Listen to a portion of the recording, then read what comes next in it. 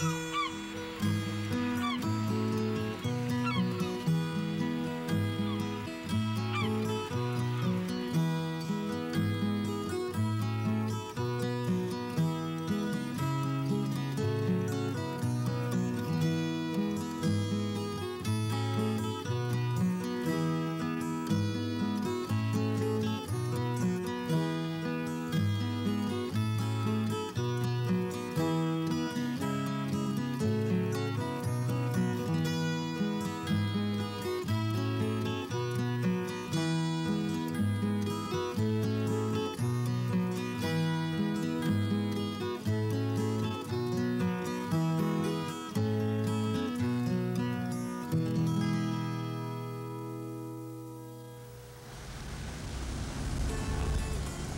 It was 36 years ago when this vessel slipped gently into the waters of Bonavista Bay.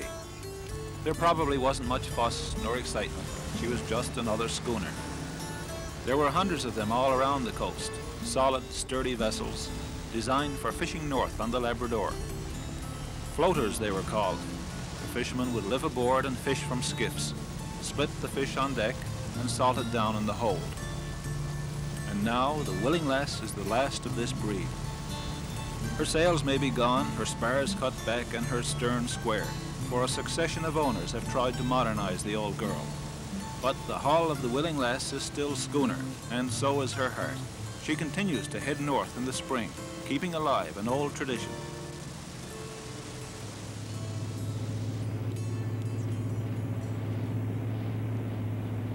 And this is her destination, Belle Isle. North of Newfoundland's northernmost tip, this island has long been a landmark to crews headed to and from their fishing stations on the Labrador. Few would stop here. In fact, most sailors shun this place. There are no harbors. The currents and tides are savage. The winds funnel down the cliffs.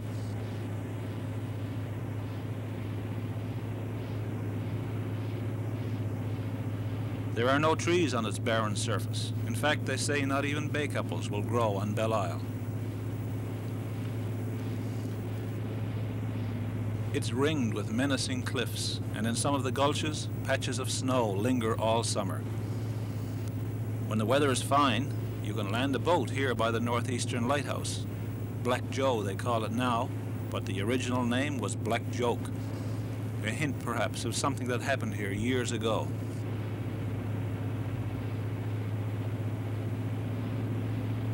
Belle Isle is a place rich in stories and legends, for fishermen have always been lured to its shores. Vikings and Basques, the Portuguese and the French all knew Belle Isle and feared and respected it. It was known to the early navigators as the Isle of Demons and as the Isle of Bad Fortune.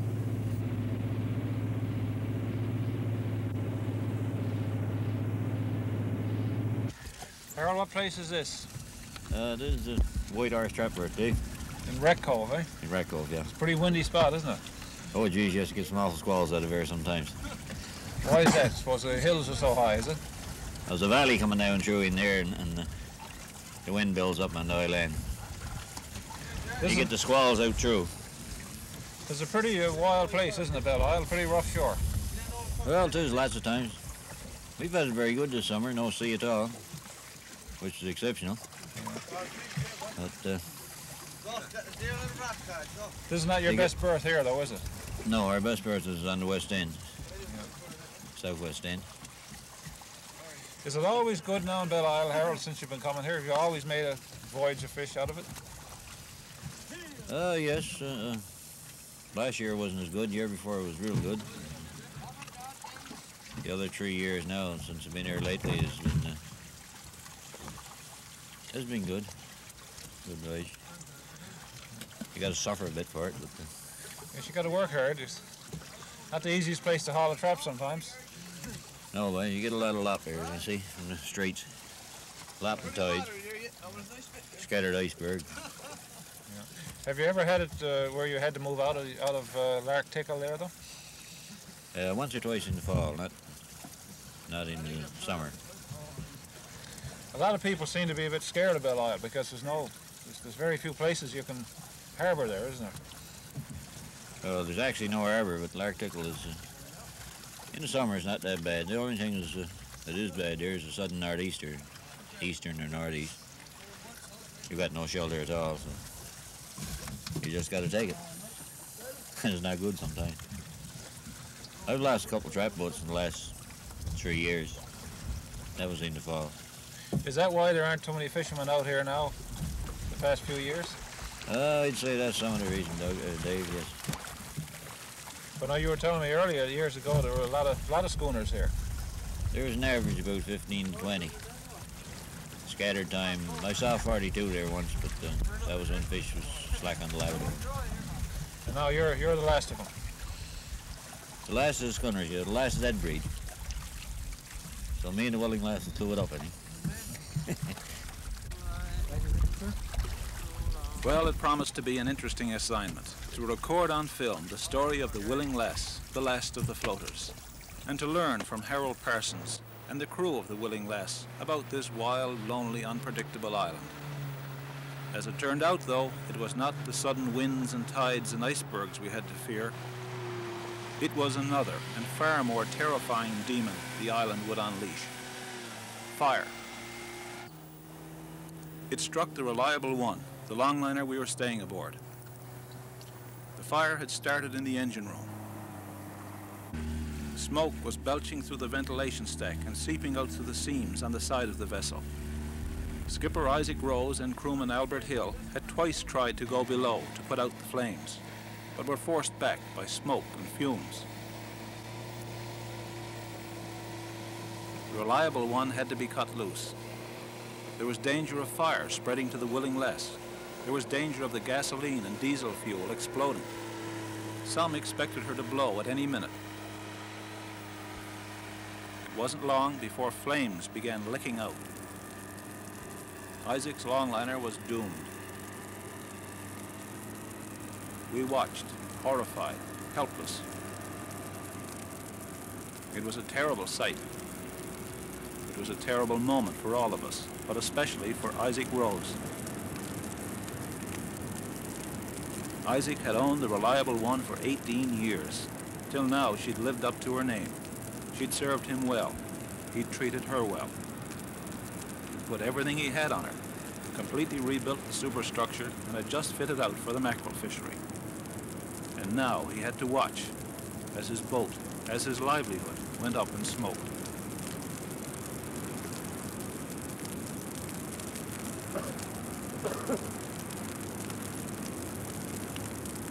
The vessel drifted out into the strong current of the Strait of Belle Isle. One by one, the boats turned away.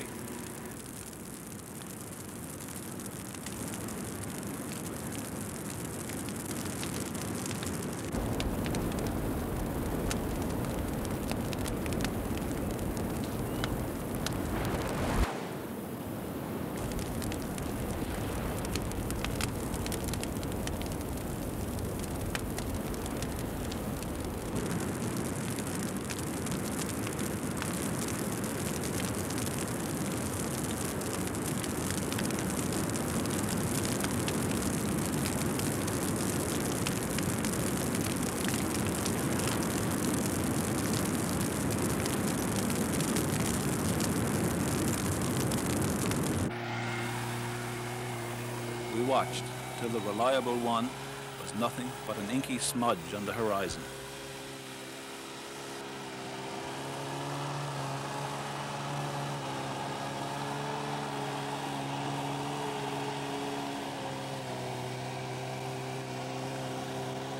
Next problem, to get the crew of the Reliable One and the Land and Sea crew back home. For we too had nothing left. Most of our film and equipment and all of our personal belongings had been on board. It's a long steam from Belle Isle back to Newfoundland. The longliners at Lark Tickle were into a lot of fish. Yet there was no hesitation. They gave up valuable fishing time to get us back home. Norm Cull tried to take us in, but his small longliner was forced back to Belle Isle by heavy seas. Later that evening, when the winds and tide rip subsided a bit, we made it back to Quirpon with Glenn Penny on his longliner, Penny's Dream. All the way in, our thoughts were on the fire. we were sickened and saddened by what had happened, glad the fire hadn't started in the middle of the straits.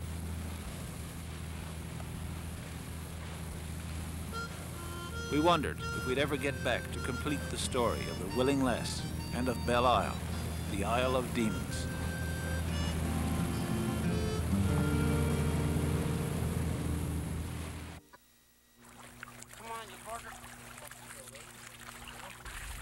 It was about two weeks later before we were able to muster our resources and return to Belle Isle.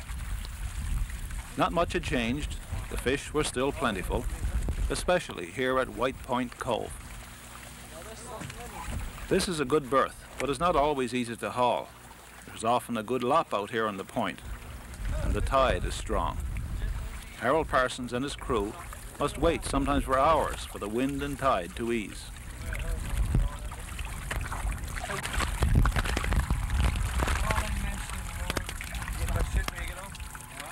It's usually worth the wait, though, for the fish seem to like this spot. It's the most reliable berth they have here in Belle Isle.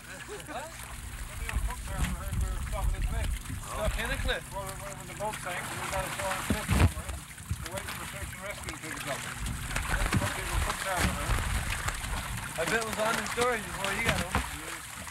White Point Cove has given them some good hauls of fish. 15 to 20 quintals were common last summer. That's not bad, for directly to the south, Northern Peninsula fishermen had a complete failure. Their traps were empty. But it seldom fails here at Belle Isle. The island is like a big ship moored in the North Atlantic.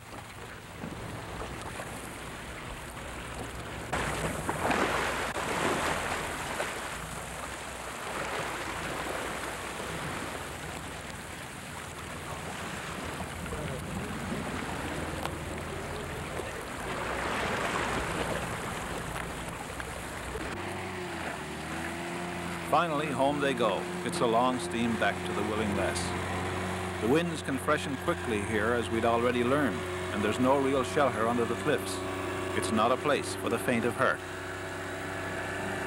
Once Harold and his crew had to throw fish overboard to lighten the load.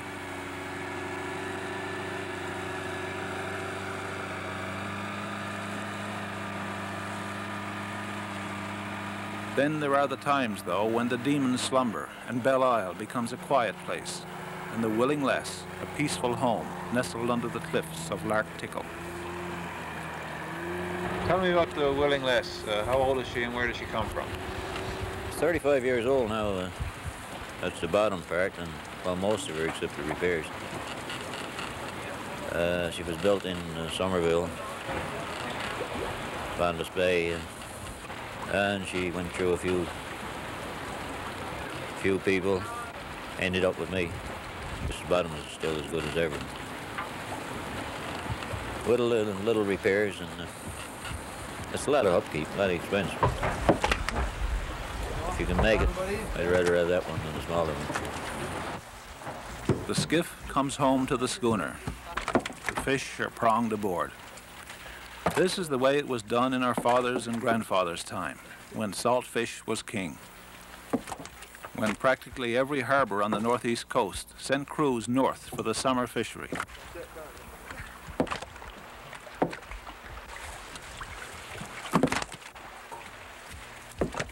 Long hours at the trap and putting away the fish.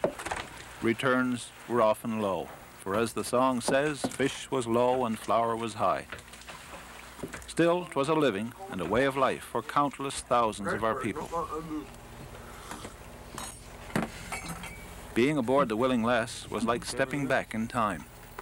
You must think we lived on fish there. In the early days, a woman often sailed north as cook, and the old tradition hasn't died on the Willing Lass.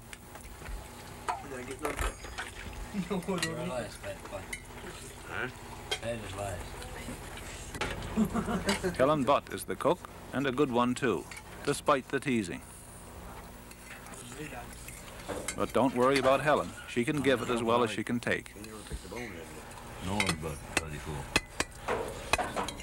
How come you never picked bones up a cook? I picked it. Good one.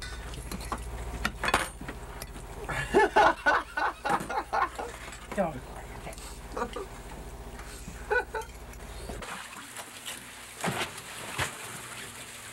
After the hot meal, it's back at it again. There's a deck full of fish to be put away. It's all split, of course. A cutthroat, a header, and two splitters.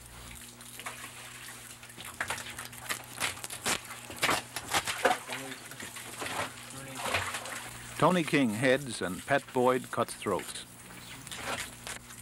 Bob Payne is an old hand at splitting. It's the first time for Brian Squires. George White salts away the fish in the hold, sprinkling just the right amount of salt. Every fish they catch passes through his hands. Day by day, the pile grows higher and higher.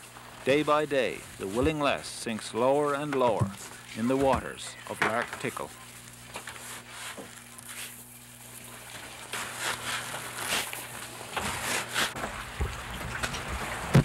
But Harold, why did you decide now on, on, on a schooner? I mean, that was that's the old. This is the old-fashioned way to fish, isn't it?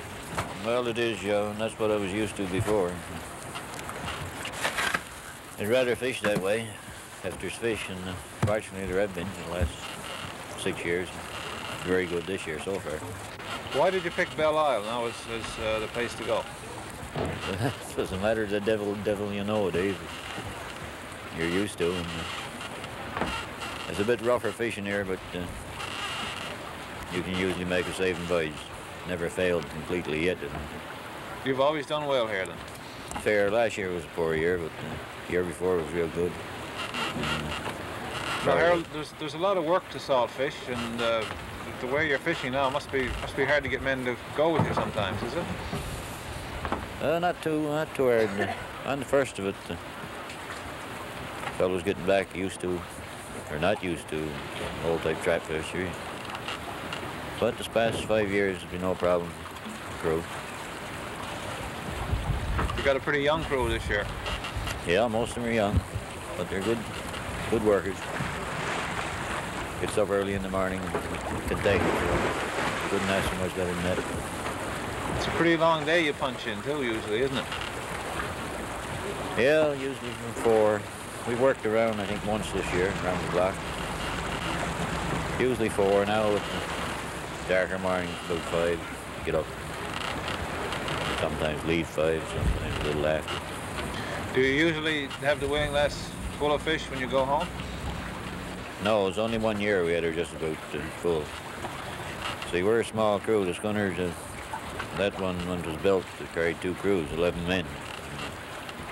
Two boats and tables. Oh, 100 a man years ago was considered a very good voyage for summer. We had 250 a man year before last. Last year wasn't that good. We went well over 100. The Willing Lass did fair this year, just under a thousand quintals. And they sold a fair amount of fresh fish over the side to a Portuguese trawler that anchored for a while at Belle Isle. Not a bad voyage. Few would fish this way anymore, though, even if the schooners were available. Most of the longliner fishermen prefer to sell fresh. Splitting and salting means a lot of work and cuts into fishing time.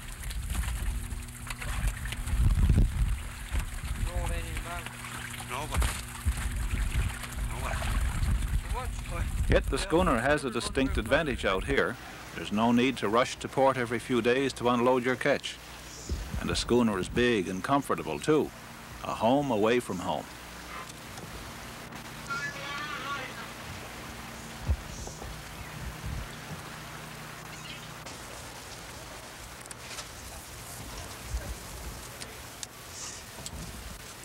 Helen was born in Tizzard's Harbour, but now calls Mary's Harbour Labrador home. A widow, she's worked hard all her life and has spent several years fishing herself. I wondered how she came to be cook on the Willing Lass. Yeah, I went to Springdale and uh, so I went to see uh, Skipper, Earl Parsons, and I asked him, did he need anybody on the Willing Lass?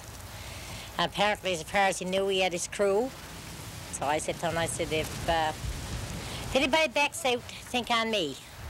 So next morning I left, drove down to St. Anthony, and when I got in St. Anthony, I called that I had to call him back. Had a job for me. Do you like it out here? Oh, I do, I love it. It's supposed to be a pretty rough and rugged spot. I, I, I know there are not many women out here for sure. Right. You don't mind it? No, I don't mind. No. I guess we're going to get the good days and we're going to get the bad ones. That goes with it. I suppose you spend a good bit of time alone, though, on the vessel, don't you, when the men are away fishing? That's right. I spend uh, quite a few hours here sometimes when they're gone all the trap. Probably they might go for a couple hours. Well, it takes them at least two, two and a half hours if they haven't got any problem. Sometimes there's a big toy on, probably gone five, six hours. Do you ever get concerned about them when the wind comes up? Well, I do, yes. But I know Skipper knows this place pretty good, so I guess he know a lot more about it than I do. You get along pretty well with the crew, do you? Oh, yes. Great crew, great skipper. Great cook. Thanks.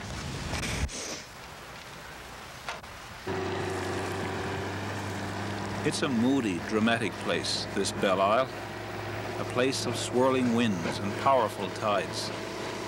It's not an easy place to fish. Yet for those who dare, it seldom fails. Once there were many schooners here. Today there's only one. In fact, as far as we know, the Willing Lass is the last of her breed, still fishing anywhere in this province. Skipper Sam Humby, who built her, must be proud. So must Skipper Harold Parsons.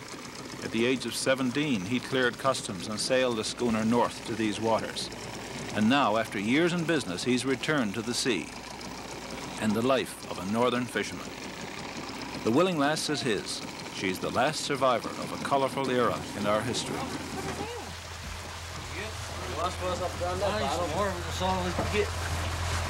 Whether you want more than that, put her down. She's not. Dirty son of a gun after all. Now. I'm not showing it back. When anybody wakes up for, I don't know. Huh?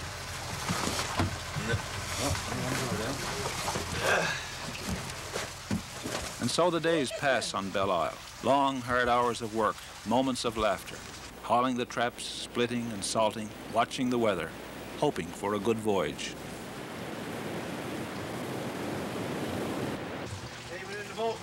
Often the Willing Lass is lit up at night, for sometimes there's a lot of fish and it must be put away. Once last summer they worked round the clock. The fishery is short, just over two months, and you've got to keep at it while the fish are running. Years ago, this would be a familiar sight on Belle Isle and all along the French shore and the Labrador coast. For generations, the vessels from our northern bays fished here.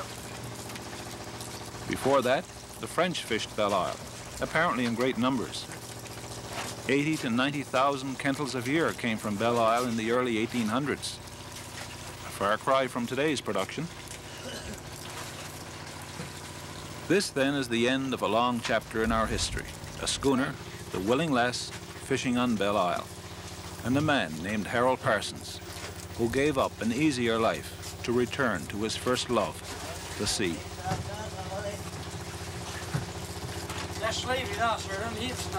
Look, you, you have you never really regretted getting away from city life and the business world. No, no way. Keeps you away from home in the summer, which is the best time of the year. But uh, apart from that, I'd rather be here than the shore, especially if I had to sit in the office or something, which I had to spend a few years at. And, uh, working in stores. There's no comparison with the outdoor life. So the Willing Lass has been kind to you. Oh, yeah. Yeah, it's been good, man. I've enjoyed it. Bad was good. Most was good.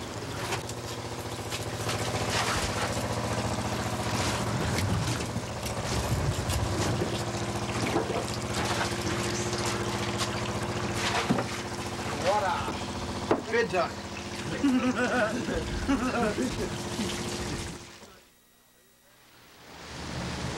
Are you partly in this now because you're interested in vessels like this and, and you like to see it preserved? I guess it's probably in the blood. The first two schooners I had was uh, sailing schooners with some power. And uh, I guess it got in the blood then, never got out. Father was fishing before, and grandfather, so I started off the same way on the first one.